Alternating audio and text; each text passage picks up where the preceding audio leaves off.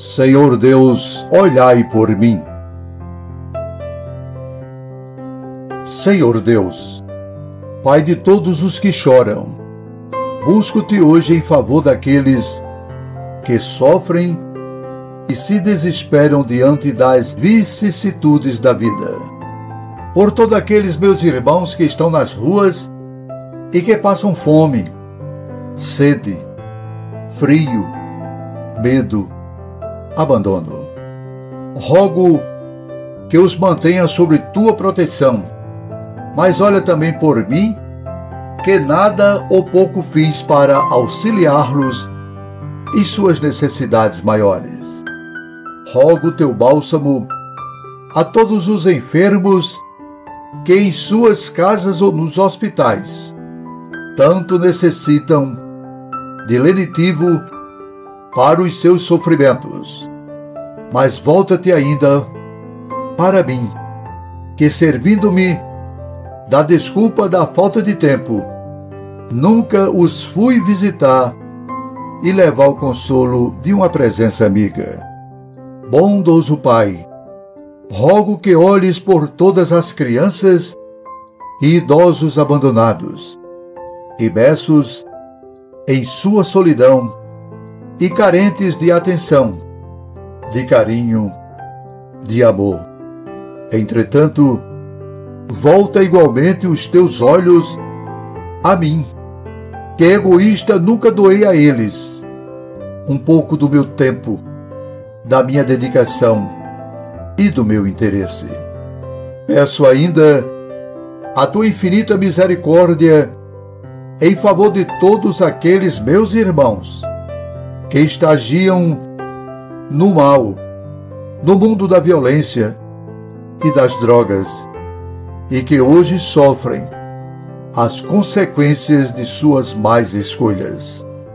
Porém, rogo antes por mim, que muitas vezes, sem poder ou querer ajudá-los, ainda os julguei, colocando-me em patamar superior e esquecendo-me de que, de uma forma ou de outra, todos ocorremos em erro durante o caminho que nos leva à perfeição.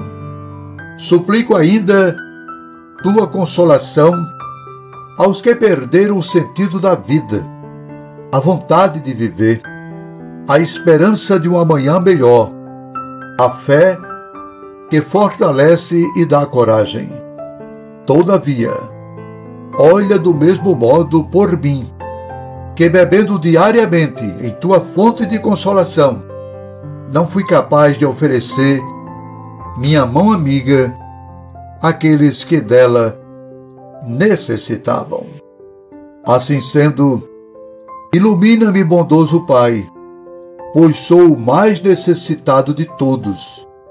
Tenho alimento e não o compartilho tenho a água e a coberta, e não mato nem a sede e nem o frio do meu semelhante. Disponho das concessões materiais e não as utilizo em benefício dos menos favorecidos. Tenho a oportunidade diária de gerar modificações em tudo à minha volta e entrego-me a reclamações e de sabores desnecessários. Olha por mim, meu Deus, que tenho dinheiro e sou pobre, que tenho saúde e sou enfermo, que tenho conhecimento do bem e não o pratico, que digo ter fé e vacilo, que tenho luz e não enxergo. Olha por mim, meu Deus. Deus, o Senhor da vida auxilia suas criaturas, através das próprias criaturas. Não nos esqueçamos de que nós, sem exceção, fazemos parte desse processo. Não esperemos e nem deixemos para amanhã aquilo que está em nossas mãos fazer hoje. Não percamos nenhuma oportunidade sequer de praticarmos a caridade. Aqui estamos, a exemplo de Jesus, para servir e não para sermos servidos.